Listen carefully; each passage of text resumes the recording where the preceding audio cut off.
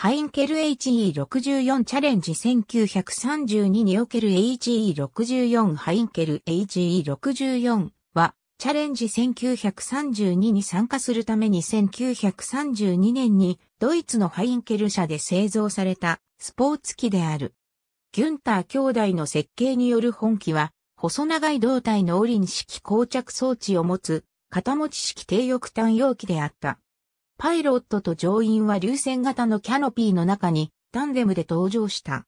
6機が競技大会に参加するために製作され、そのほぼ全機が大会に投入された。唯一競技大会に出場しなかったのは墜落した試作初号機だけであった。HE64 は 7363km を飛翔するヨーロッパ周回ラリーに参加して上位3位を最高速度競技では上位5位を占めるといったように、速度関連の競技でその性能を発揮した。また、最低速度競技でも上位に入った。HE64 は、その他の競技で優勝することはなかったが、これらの部門での勝利により、パイロットを務めたフリッツ・モーチックに総合で2位を獲得させた。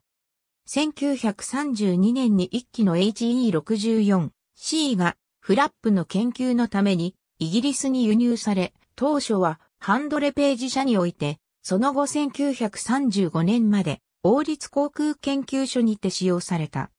この機体は後にローデシアへ渡り、1952年まで飛行をしていた。初言性能。ありがとうございます。